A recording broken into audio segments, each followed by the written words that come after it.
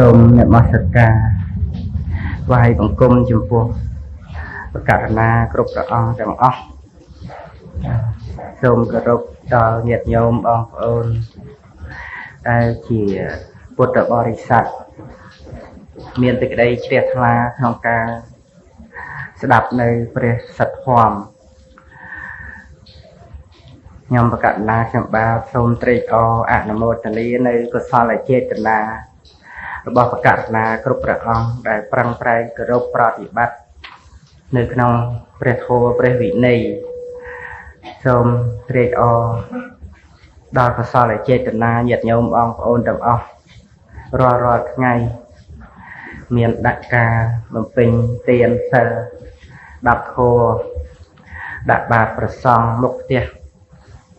តាមទីកន្លែងជាដើមខ្ញុំ ករណាខ្ញុំបាទសូមត្រេកអរអនុមោទនានៅបុណ្យកុសលទាំងអស់នោះនៅក្នុងថ្ងៃនេះខ្ញុំកណាខ្ញុំបាទនឹងសម្ដែងនៅពុទ្ធប្រវត្តិខ្លះខ្លះជាបន្តទៅទៀតនៅក្នុងសង្សារវត្តដ៏វែងឆ្ងាយនេះព្រះបរមពោធិសត្វដែលព្រះអង្គ ទៀងតែនឹងបានត្រាស់ដឹងជាព្រះសម្មាសម្ពុទ្ធត្រូវបំពេញនៅបារមីធម៌30មាននៅក្នុងទានបារមីដែលត្រូវលះបង់នៅសម្បត្តិខាងក្រៅរួមទាំងបុត្រភរិយាផងបើមិនមានការលះបង់នៅសម្បត្តិទាំងអស់នឹងក៏មិនអាចដើម្បីបានត្រាស់ដឹងជាព្រះសម្មាសម្ពុទ្ធ នេះគឺជាច្បាប់ដើម្បីឲ្យបានត្រាស់ដឹងជាព្រះសម្មាសម្ពុទ្ធដែលហៅថាហេតុសម្បទាដើម្បីឲ្យបានសម្រេចនៅផលដែលជាផលៈសម្បទាត្រូវតែមានការបំពេញនៅបារមីអញ្ចឹងដូច្នេះបងប្អូនទាំងអស់ដែលមិនទាន់បានស្ដាប់សិក្សាឲ្យបានយល់ដល់ព្រះពុទ្ធគុណនោះ ទោះជាម្ដេចម្ដាកុំឲ្យខ្មាស់តេះដៀលព្រះបរមពុរិស័ទដែលព្រះអង្គបំពេញនៅទានបារមី មានការលះបង់នៅបទភរិយាជាដើមម្យ៉ាងទៀតមិនមែនត្រឹមតែទានបារមីទេទានឧបបារមី គឺត្រូវលះបង់ដល់ទៅអវយវៈនេះដើម្បីឲ្យបានត្រាស់ដឹងជាព្រះសម្មាសម្ពុទ្ធហើយ រហូតដល់ទានបរមត្ថបារមីលះបង់ដល់ទៅជីវិត ដោយមិនរួញរាដើម្បីឲ្យបានត្រាស់ដឹងជាព្រះសម្មាសម្ពុទ្ធជាប្រយោជន៍ដល់សពសត្វក្នុងលោក ដោយបតីករណារបស់ព្រះអង្គជាគ្រឿងទ្របើកុំតែមានបតីករណាព្រះអង្គប្រាថ្នាឲ្យអស់កិលេសតាំងអំពី4អសង្ខ័យមួយសែនកັບ មុនផតកັບនេះម្លេះកាលដែលព្រះអង្គជាព្រះសមេតតាបោះក្នុងសាសនាព្រះសម្មាសម្ពុទ្ធទីបង្កឥឡូវនេះយើងដែលជាសាវករបស់ព្រះសមណគោតមបរមគ្រូក៏នៅមានធម៌មានវិន័យគ្រប់គ្រាន់ការបញ្ញត្តិសម្ដែងតែងតាំងនៅធម៌វិន័យមិនខុសគ្នាទេគ្រប់គ្រប់ព្រះពុទ្ធទាំងអស់ សុទ្ធតែមានគុណប្រយោជន៍ស្រោចស្រង់សត្វលោកឲ្យរួចផុតអំពីអវិជ្ជាចឹងក្នុងមួយអាសង្ខ័យកັບកន្លងផុតទៅអត់មានព្រះសម្មាសម្ពុទ្ធបានត្រាស់សំបីតែមួយព្រះអង្គនេះច្បាស់លាស់ណាស់ទេណានៅក្នុងមធុរដ្ឋវិលាសនីអដ្ឋកថាដល់ទៅមួយអសង្ខ័យកន្លងផុតទៅ ក្នុងកັບមួយនោះ មានព្រះសម្មាសម្ពុទ្ធកោនដញ្ញៈបានត្រាស់ដឹងក្នុងរវាងមនុស្សអាយុ1សែនឆ្នាំក៏ជាការរស់នៅ របស់មនុស្សដែលមានអាយុវែងហួសអំពីនឹងទៅក៏មិនអាចមានព្រះសម្មាសម្ពុទ្ធព្រះអង្គបានត្រាស់ដឹងដែរព្រះអង្គដែលទ្រង់ត្រាស់ដឹង នៅក្នុងរវាងមនុស្សអាយុមិនលើសពី1សែនឆ្នាំ លើខ្វះបន្តិចបន្តួចហើយចុះមកក្រោមមិនខ្វះជាង100ឆ្នាំមនុស្សយើងសប្តាហ៍ថ្ងៃនេះក៏អាយុខៃចុះនៅសល់70ផ្លាយតែប៉ុណ្ណោះប៉ុន្តែអាចនៅមានធម៌មានវិន័យដើម្បីគោរពប្រតិបត្តិចឹងហើយអាចដើម្បីបាននៅមគ្គបាននៅបដិបទាប្រព្រឹត្តទៅដើម្បីចិញ្ចាអំពីភព ដោយព្រះអរិយបុគ្គលដតីដតីទៀតដែររាប់ម៉ឺនសែនរាប់លានរាប់កោតព្រះអង្គដែលបានរំលត់ខណ្ឌអំពីលោកសន្និវេសនេះក្នុងកាលសាសនាព្រះពុទ្ធកោណ្ដញ្ញៈព្រះបរមគ្រូបរមពុរិស័ទព្រះអង្គនៅជាស្ដេចចក្រពត្តិទ្រង់ព្រះនាមថាវិជិតាវីដោយតែបានសម្ដែងរួចមកហើយជ្រះថ្លានឹងព្រះសម្មាសម្ពុទ្ធ បានបូជានៅសម្បត្តិស្ដេចចក្រនឹងដល់ព្រះសម្មាសម្ពុទ្ធបួសសិក្សាធម៌វិន័យនៅក្នុងព្រះពុទ្ធសាសនារៀនជាប់បត្រៃបិដកបានសម្រេចអភិញ្ញាសមាបត្តិដែលជាលោកយៈអភិញ្ញាទៅកាន់ព្រហ្មលោកកាលពេលវេលាដែលព្រះសម្មាសម្ពុទ្ធកោណ្ដញ្ញៈប្រតិពានទៅកន្លងអស់មួយអសង្ខ័យដែលមិនមានព្រះសម្មាសម្ពុទ្ធមួយព្រះអង្គឡើយ រហូតដល់កាប់ក្រោយមកទៀតមានព្រះសម្មាសម្ពុទ្ធទ្រង់ត្រាស់ដឹងនៅក្នុងកាប់មួយនោះ4ព្រះអង្គគឺព្រះសម្មាសម្ពុទ្ធសមង្គលៈព្រះសុមនៈព្រះរេវតៈនិងព្រះសម្មាសម្ពុទ្ធសោភិតៈ4ព្រះអង្គនេះត្រាស់នៅក្នុងផែនដីតែមួយជាមួយគ្នាព្រះអង្គ4ព្រះអង្គនឹងក្នុងមួយអសង្ខ័យ មានកាប់មួយនឹងដែលមានព្រះសម្មាសម្ពុទ្ធ4ព្រះអង្គព្រះសម្មាសម្ពុទ្ធសម្យ៉ាងតលៈមានពន្លឺធំជាងព្រះសម្មាសម្ពុទ្ធឆ្ងាយជាងព្រះសម្មាសម្ពុទ្ធដតីដតីក្នុងកាលនោះព្រះបរមពុរិស័ទបរមគ្រូនៃយើងព្រះអង្គសោយប្រជាតជាសុរុជិព្រាម មានទ្រព្យសម្បត្តិច្រើនជាព្រាមណៈមហាសាលជ្រះថ្លានឹងព្រះសម្មាសម្ពុទ្ធបានធ្វើនៅមហាទាន ព្រះអង្គព្រះសម្មាសម្ពុទ្ធសមង្គលៈក៏បានព្យាករថានឹងបានត្រាស់ដឹងជាព្រះសម្មាសម្ពុទ្ធចឹងទៅក៏មានសេចក្តីជ្រះថ្លាបូជានៅទ្រព្យសម្បត្តិទាំងប៉ុន្មាននោះដល់ព្រះសម្មាសម្ពុទ្ធហើយក៏បានបួសក្នុងសំណាក់នៃព្រះសម្មាសម្ពុទ្ធសមង្គលៈនឹងរៀនជាប់បត្រៃបិដកទៀតនេះគឺជាការអន្តោលក្នុងសង្សារវដ្ត มันអាចរាប់ជាតិបានថាប៉ុណ្ណេះជាតិប៉ុណ្ណោះជាតិទេ ច្រើនអនេកជាតិប៉ុន្តែនេះក៏នៅក្នុងអំណាចនៃតណ្ហា ដែលជាប្រភពនៃកំណើតនឹងផងដែរបើសិនជាមិនមានអវិជ្ជាតណ្ហាទេនោះក៏មិនមានអ្វីដើម្បីរៀបចំកំណើតបដិសន្ធិក្នុងភពតូចនិងភពធំនឹងបានឡើយចឹងក្នុងកាលដែលព្រះសម្មាសម្ពុទ្ធសមង្គលៈ ដែលមានប្រជជន90000ឆ្នាំបរិនិព្វានទៅក៏ការពេលវេលាខែចុះនៃអាយុមនុស្សតាមលំដាប់ក្នុង100ឆ្នាំក៏ខែចុះ1ឆ្នាំទៅ ក្នុង100ឆ្នាំក៏ខែចុះ1ឆ្នាំអញ្ចឹងទៅយូរណាស់ទៀតណា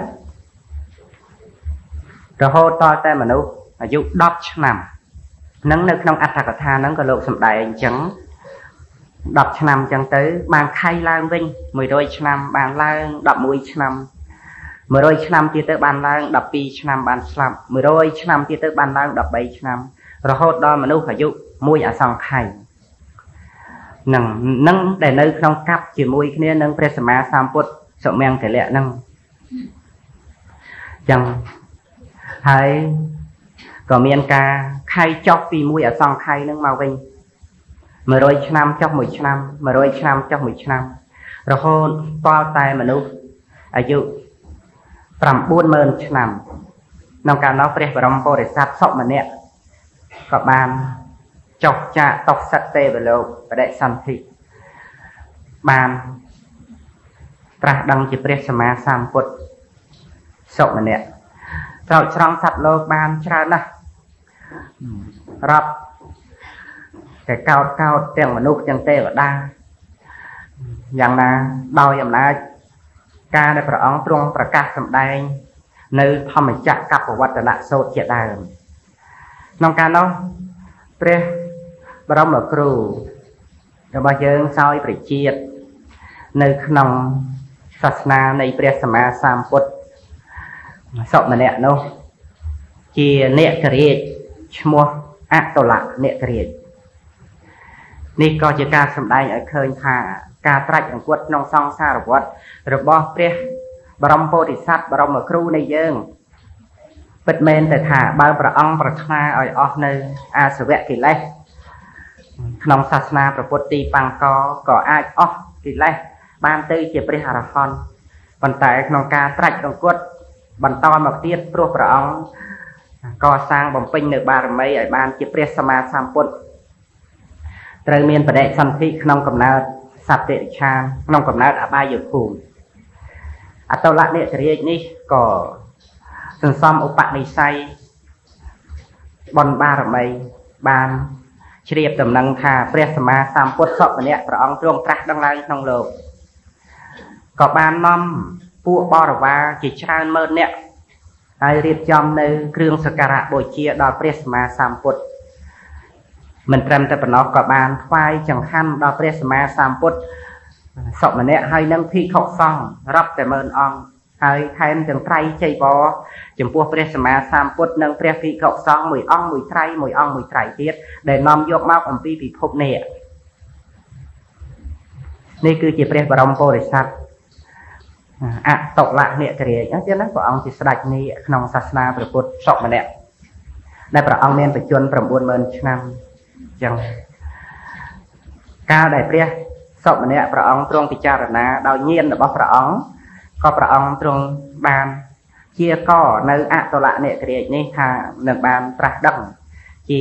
ព្រះសម្មាសម្ពុទ្ធប្រមាណ2អសង្ខ័យ1សែនកាប់ នឹងបានជាព្រះសមណគោតមអតុលនិករាជបានជ្រាបក្តីនេះច្បាស់អំពីព្រះសម្មាសម្ពុទ្ធក៏សមាទាន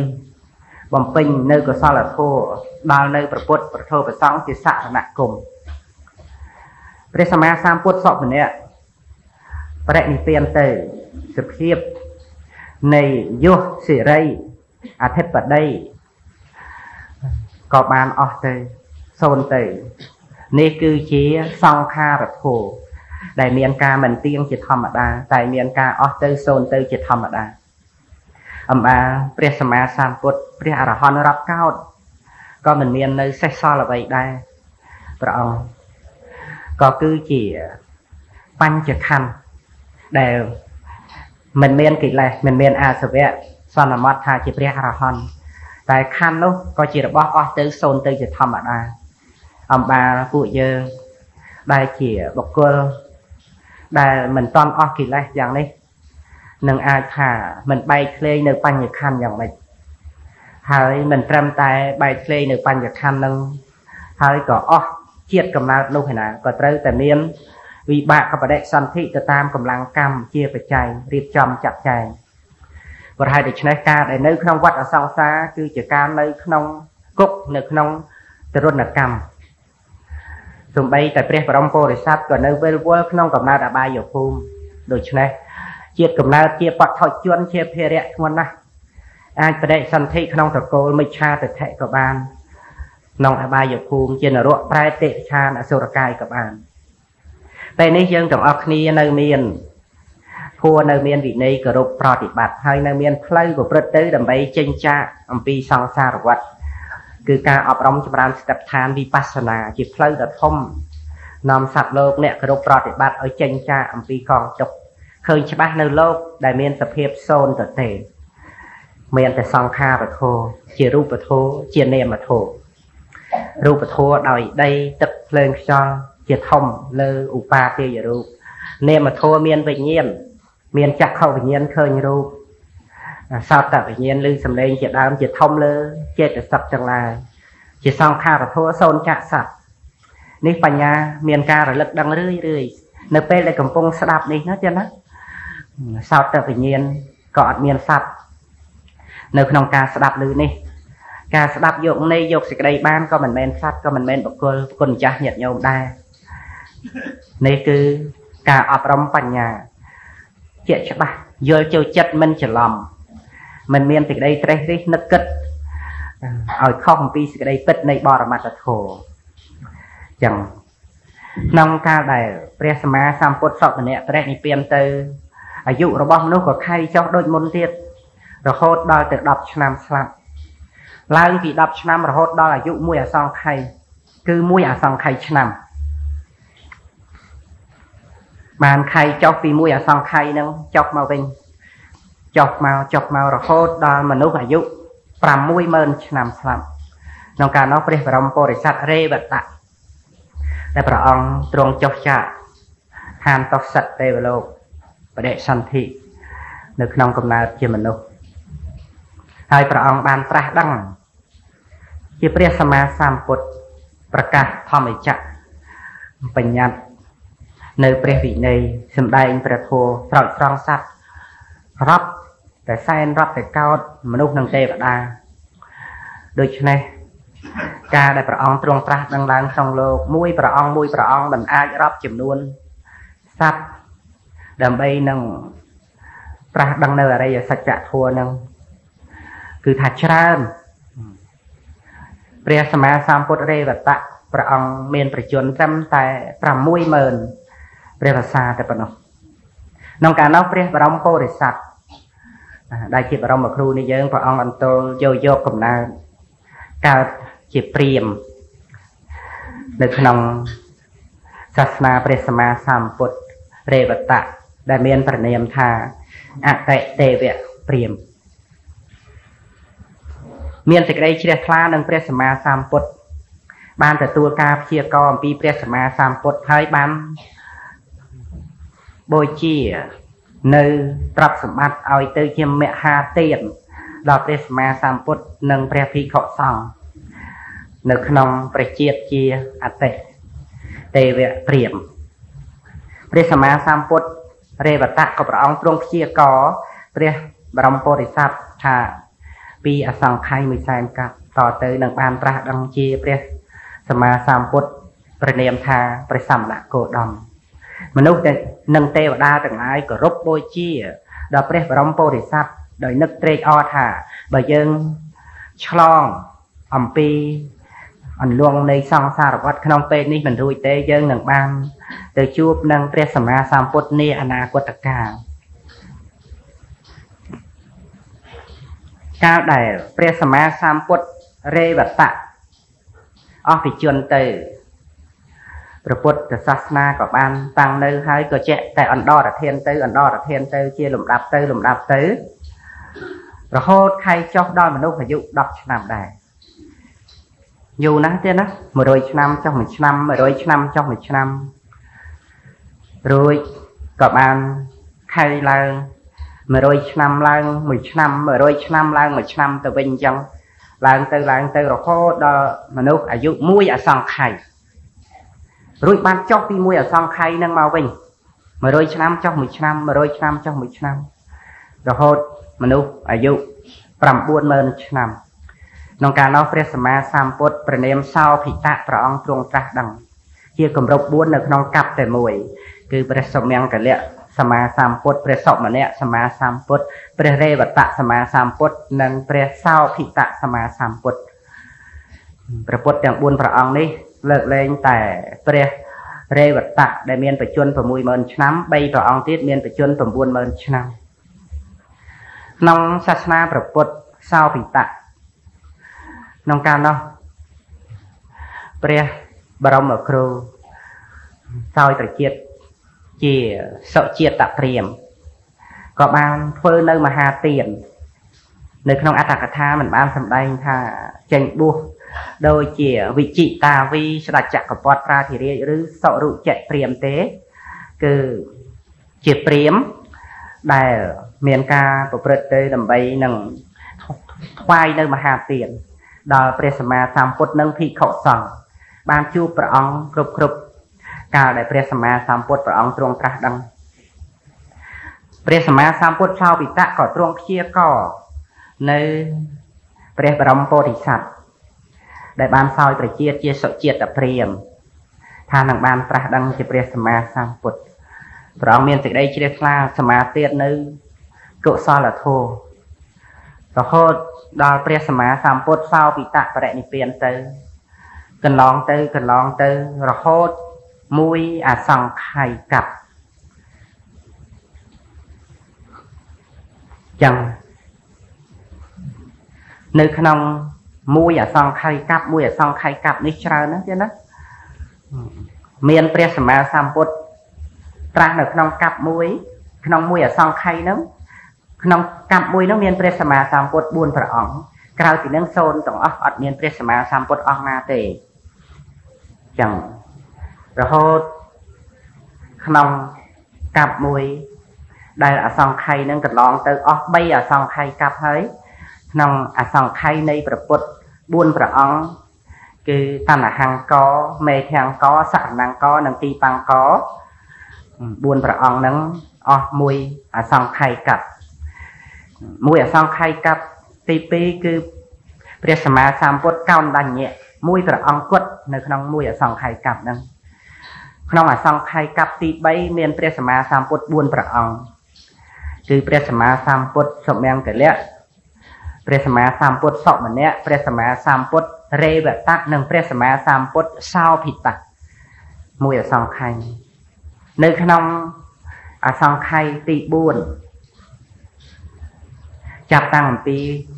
ព្រះសមេតាបោះដែលត្រូវទទួលការព្យាករមុនដំបូងមកក្នុងអសង្ខ័យនឹងមានព្រះសម្មាសម្ពុទ្ធព្រះអង្គទ្រង់ត្រាស់ដឹង នៅក្នុងអសង្ខ័យទី4ហ្នឹងមុនគេគឺព្រះសម្មាសម្ពុទ្ធអនោមទាស័យព្រះសម្មាសម្ពុទ្ធអនោមទាស័យនេះ មានប្រជជនមួយសែនមួយសែនព្រះវស្សាមនុស្សអាយុមួយសែនឆ្នាំ ក្នុងកាលនោះព្រះបរមគ្រូនៃយើងព្រះអង្គសោយប្រជាតជាសេនាបតីយៈ នេះជារឿងសង្សារវត្តណាចឹងក្នុងមួយជាតិមួយកំណើតអត់មានសល់អីទេត្រូវចោលទៅទាំងអស់អត់មាននៅសល់អីទេយើងក៏ដូចគ្នាអញ្ចឹងដែរក្នុងជាតិកំណើតនេះគ្រាន់តែជាតិកំណើតមួយដែលនឹងត្រូវចោលទៅ ដូចជាជាតិកំណើតអតីតកាលព្រះសម្មាសម្ពុទ្ធគ្រប់គ្រប់ព្រះអង្គព្រះអង្គអត់មានបានអ្វីអំពីសម្បត្តិក្នុងលោកនេះទេសម្បត្តិអ្វីអ្វីទាំងអស់នៅក្នុងលោកនេះជាសង្ខារធម៌ មានការអស់ទៅសូន្យទៅអត់មានបុគ្គលណាដើម្បីចាប់ទុកជារបស់ខ្លួនបានឡើយយើងគ្រប់គ្នាក៏អញ្ចឹងអត់មានអ្វីជារបស់យើងទេទាំងរូបប្រខណ្ឌទាំងវេទនាខណ្ឌទាំងសញ្ញាខណ្ឌទាំងសង្ខារខណ្ឌទាំងវិញ្ញាណខណ្ឌនេះបុគ្គលដែលមានបញ្ញាមិនប្រកាន់នៅបញ្ញខណ្ឌនេះថាជារបស់ខ្លួន ថែមទាំងអ្វីដែលថាជាខ្លួនជាសត្វជាបុគ្គលនោះក៏មិនមានដើម្បីជាម្ចាស់នេះគឺជាសង្ខារធម៌ព្រះព្រមពោធិសត្វសោយប្រជាជាសេនាបតីយៈគ្រប់គ្រងលើយៈច្រើនម៉ឺនហើយបានជ្រះថ្លានឹងព្រះសម្មាសម្ពុទ្ធបានថ្វាយទានជាមួយគ្នានឹងព្រះសម្មាសម្ពុទ្ធ ដែលជាមហាទានសុទ្ធតែជាទានធំធំជាមួយគ្នានឹងព្រះភិក្ខុសង្ឃរាប់ម៉ឺនអង្គរាប់សែនអង្គសេនាបតីយៈគឺព្រះបរមពុរិស័ទបានទទួលការព្យាករអំពីព្រះសម្មាសម្ពុទ្ធអនោមទស្សីថាមួយអសង្ខ័យមួយសែនកាប់ទៀតទាំងបានត្រាស់ដឹងជាព្រះសម្មាសម្ពុទ្ធទ្រង់ប្រណិមថាព្រះសមណគោតមហ្នឹង នៅក្នុងសាសនាព្រះពុទ្ធអនោមទេសីព្រះសម្មាសម្ពុទ្ធមានអគ្គសាវកស្ដាំទ្រង់ប្រណិមនិសភៈព្រះអគ្គសាវកឆ្វេងទ្រង់ប្រណិមថាអណោមៈនេះគឺជាអគ្គសាវករបស់ព្រះសម្មាសម្ពុទ្ធអនោមទេសីក្នុងកាលនោះព្រះធម្មសេនាបតីសិរីបុត្រ ហើយនឹងព្រះកោលិតៈគឺព្រះមហាមោគលាន ដែលជាអគ្គសាវកស្ដាំឆ្វេងរបស់ព្រះសម្មាសម្ពុទ្ធបរមគ្រូនៃយើងក៏ត្រូវបានទទួលការព្យាករ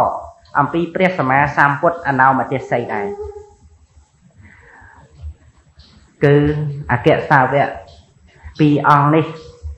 ត្រូវកសាងបំពេញបារមីចាប់តាំងអំពីព្រះសម្មាសម្ពុទ្ធអនោមទេសីព្យាករមកក៏ត្រូវតែមួយអសង្ខ័យមួយសែនកັບ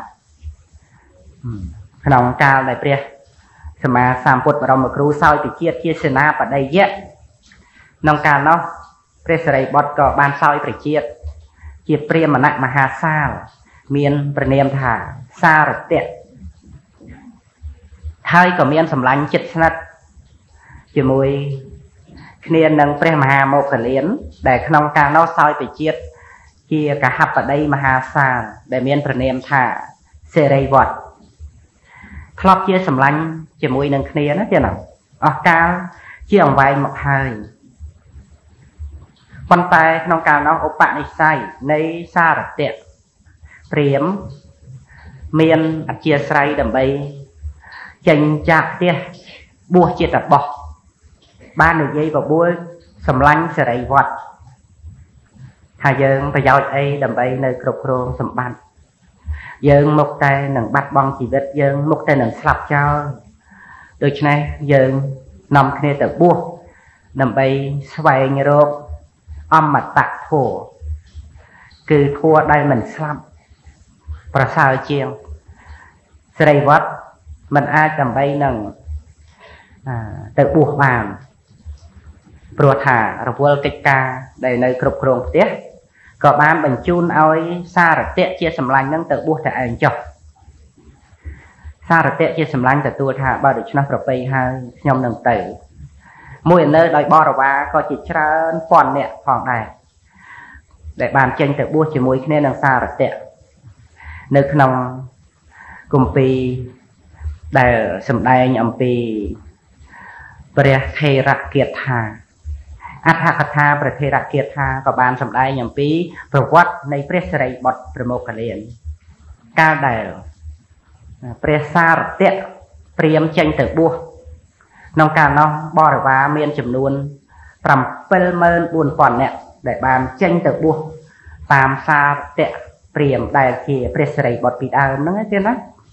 ហើយក៏បានញ៉ាំងនៅសមាបត្តិ8អភិញ្ញា5ឲ្យកើតឡើង នៅក្នុងព្រៃកាលដែលសារតៈតបោះបានសម្រេចសមាបត្តិបានសម្រេចនៅអភិញ្ញាក៏បានសម្ដែង នៅធោប្រព្រឹត្តទៅ ដើម្បីសមាបត្តិអភិញ្ញានេះដល់បរិស័ទបរិវាររាប់តែម៉ឺនអ្នក74000អ្នកក៏បានសម្រេចសមាបត្តិគ្រប់គ្រប់គ្នាទាំងអស់អត់មានសល់ម្នាក់នឹងនៅក្នុង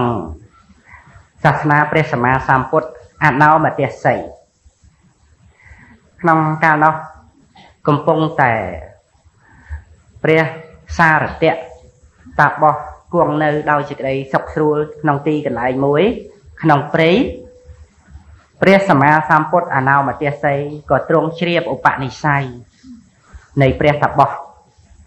ព្រះអង្គទ្រង់ស្ដេចជាងចេញទៅតែមួយព្រះអង្គដោយមិនមានសាវកជាគម្រប់ពីរ ព្រះសម្មាសម្ពុទ្ធអនោមទេស័យត្រាច់ទៅតាមផ្លូវអាកាស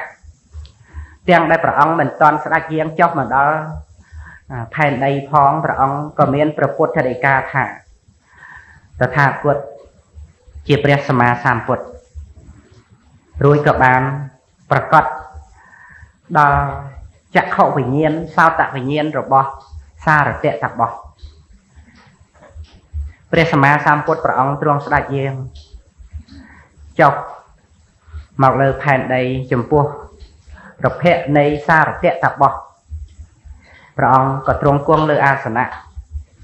ដែលសារតៈតបោះបានថ្វាយហើយសារតៈតបោះក៏កាន់យកនៅអាសនៈមួយដ៏ទាបជាងព្រះសម្មាសម្ពុទ្ធនៅពេលដែលសារតៈតបោះបានពិចារណាដល់អាការៈអនុព្យញ្ញៈលក្ខណៈរបស់ព្រះសម្មាសម្ពុទ្ធក៏បានជ្រាបថា គឺជាលក្ខណៈរបស់ព្រះសម្មាសម្ពុទ្ធក្រាបថ្វាយបង្គំព្រះសម្មាសម្ពុទ្ធគង់នៅក្នុងទីនោះឯងក្នុងកាលនោះពួកបរិវារអន្តេវាសកូនសាសរបស់សារតៈតបោះនាំយកផ្លែឈើអំពីព្រៃមកគ្រប់គ្រប់គ្នា ព្រះសារតៈតបោះក៏បាន ឲ្យបរិវារអន្តេវាសកនឹងយកថ្វាយព្រះសម្មាសម្ពុទ្ធនៅផ្លែ